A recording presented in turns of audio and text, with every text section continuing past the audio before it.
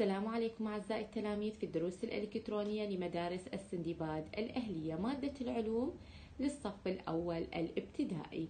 حبايبي الحلوين اليوم راح ناخذ الفصل العاشر. الفصل العاشر يتحدث عن الحركة والقوة. الفصل العاشر بدرسين الدرس الأول الموقع والحركة أما الدرس الثاني يتحدث عن القوة.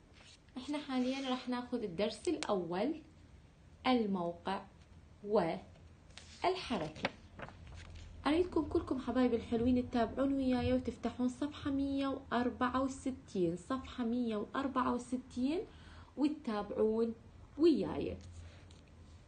الفكرة الرئيسية شنو الحركة؟ هي تغيير موقع الشيء. راح ناخذ بهذا الدرس الموقع والحركة ما الموقع؟ لتحديد موقع جسم نسبة إلى شيء آخر نستخدم كلمات مثل تحت فوق يمين يسار أمام خلف حتى أحدد موقع شيء معين أنا راح أستخدم هذه العبارات اللي هي يا أما تحت فوق يمين يسار أمام خلف. مثلا حاليا أنا عندي هذا القلم. القلم وين حاليا؟ وين؟ إيش تشوفون أنتوا وين القلم؟ القلم فوق الكتاب. وين القلم؟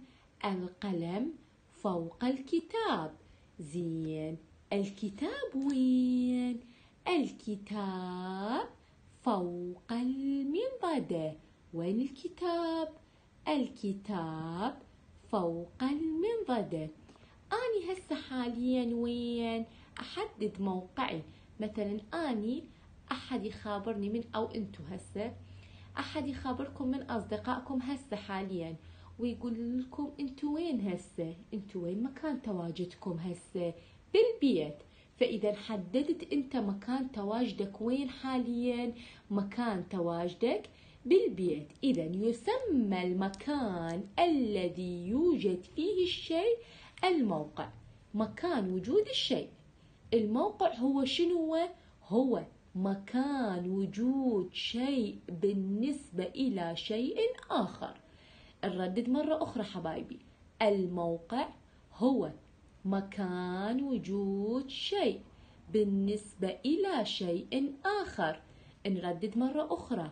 الموقع هو مكان وجود شيء بالنسبة إلى شيء آخر. إذا الموقع هو شنو؟ مكان وجود الشيء. مكان تواجدك حاليا. الموقع هو مكان وجود الشيء. أما الحركة ما الحركة؟ يتغير موقع الشيء عندما يتحرك من موقعه إلى موقع جديد. الحركة هي شنية؟ هي؟ تغيير موقع الشيء بالنسبة إلى شيء آخر. شنو الحركة؟ تغيير موقع الشيء بالنسبة إلى شيء آخر. مثلا عندي أنا القلم كنت حاطته بهذه الجهة. هذا القلم كان هنا متواجد. اجيت غيرت موقعه حطيته بهذه الصفحة. غيرت موقعه. إذا شنو حركته من هذا المكان إلى هذا المكان؟ هو تغيير موقع الشيء. شنو هو القلم؟ غيرت موقعه. كان هنا جبته هنا إذا الحركة هي تغيير موقع الشيء بالنسبة إلى شيء آخر. الحركة هي تغيير موقع الشيء بالنسبة إلى شيء آخر. نردد مرة أخرى. الحركة هي تغيير موقع الشيء بالنسبة إلى شيء آخر. نلاحظ إحنا عندنا هنا بالصورة موقع الحصان في البداية. فوق الحاجز ثم اجتازه وأصبح بعيدا عنه. لاحظوا وياي حبايبي. عندي بهذه الصورة. عندي بالصورة الأولى شبيه الحصان دا يعبر الحاجز. هذا حاجز وهنا الحصان شبيه دا يعبر هذا الحاجز. بس بالصورة الثانية عبر الحاجز وأصبح بعيدا عنه يعني تحرك من هذا الموقع إلى موقع آخر. إذا ما بقى ثابت بمكانه. تغير مكانه. هسه عرفنا الموقع. هو مكان وجود الشيء بالنسبة إلى شيء آخر. عرفنا مكان تواجد الشيء مكان تواجدك حاليا هو موقعك. أعتبره هو هذا الموقع. مكان تواجد الشيء. إذا الموقع هو شنو؟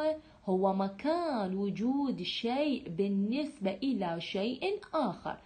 أما الحركة هي تغيير موقع الشيء بالنسبة إلى شيء آخر. تتحرك الأشياء بطرائق مختلفة فقد تتحرك بخط مستقيم أو بشكل متعرج أو بشكل دائري أو إلى الأمام والخلف. إذا هنا عندي صور أمامي أربع صور. الصورة الأولى إيش ألاحظ بها السيارة. دا تمشي بخط شنو؟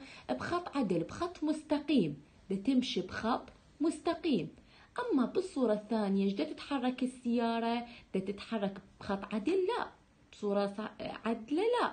دا تتحرك بشكل شنو؟ دا تتحرك بشكل متعرج.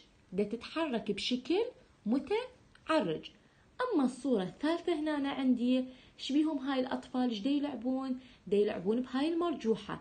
دا يتحركون وين؟ إلى الأمام والخلف. إلى الأمام والخلف.